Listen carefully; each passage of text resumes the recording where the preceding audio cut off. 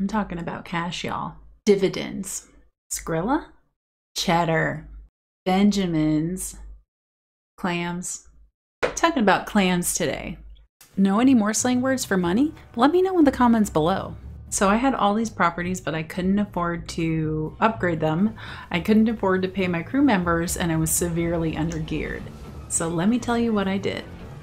So first thing I did was I went with Mabel Riley, and the reason why I went with Mabel is because she has what is called the fair price diplomatic bonus, which gives her a plus 10% chance for a trade acceptance. In other words, she's going to have better trade deals with other gangs, and you're going to really want that, and you'll see why in a minute. Not to mention her boss ability, Swindler Shot, is amazing.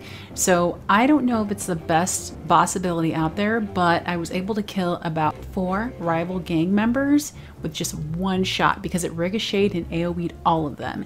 And once you gear up, and I'm going to show you how to do that, you are going to be annihilating rivals left and right. The first thing you're going to want to do when you start a game is go ahead and turn off the tutorial. This is going to automatically bring you to the first quest where you're going to have to hold five rackets. The reason why you want to actually skip the tutorial is because you want to start making money as soon as you can and you don't want to have to pay for hired help. Not right now, you're not going to need it. Start off by doing the easiest rackets first the ones with the difficulty of one or two. Then once you get a little bit of gear, we can start doing the three out of five difficulty. So the goal isn't actually to take over or hold five rackets. The goal is to ransack as many as you can because you're going to get more loot that way. And also, it's going to take money to take over rackets, and you do not want to do that yet. So don't be afraid to just ransack it. Don't worry about trying to acquire territory yet. In between doing these rackets, you want to try and meet bosses. So meeting bosses is pretty easy. All you got to do is go to the map and look for territories that you've never been to. Sometimes you'll see an icon like this where you don't know who actually lives there. But if you head to that area, chances are the boss is to approach you. And also you can look for areas where you actually see that it is lit up with different colors of different bosses. You can go directly to their safe house. That way, as soon as they approach you, you can do a sit down right away. This is actually really important because this is how you're going to find different crews to negotiate with and trade with. The more you trade with bosses, the better your rating gets, and I suggest that you start with Mabel because she gets a good head start. You want to try to prioritize money, but you're going to see that they're not going to have enough money. So they're going to compensate by giving you better weapons and consumables.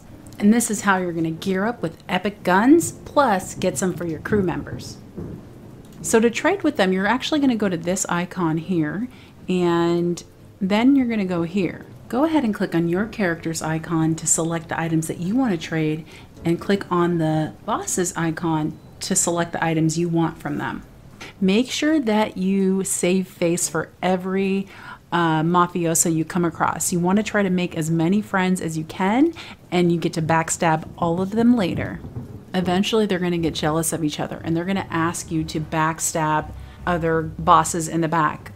They're going to give you money. They're going to give you crew members to work for you that are better than the default ones. So go ahead and say yes, yes, yes.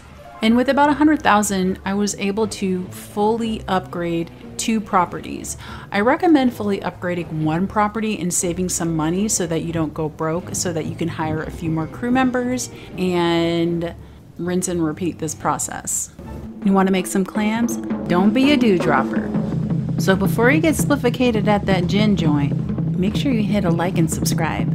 Hey, Pops, keep that beat a beat. I feel a rhythmic brainstorm coming on. One, two, keep that rhythm heating.